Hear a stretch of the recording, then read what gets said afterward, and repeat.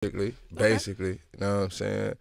You know, I, I just rap for the for the people that understand me and shit. Like a, a long time ago, shout out to DJ Premier. Primo told me, "Yo, Special man, just rap for your friends. Don't worry about everybody else." Mm. At that point in time, you know, that was probably 12 years ago. I was rapping for everybody because I liked all kind of music. So you know, it didn't matter where it was from. If I liked the beat, you know, I jump on it. Primo told me, Spesh, just rap for your friends. And I realized that, like, I understood what he meant. What he meant was, my friends is people that's gonna relate to me. They live the lifestyle that I live. Mm-hmm. It's a million people like them. Don't worry about everybody else.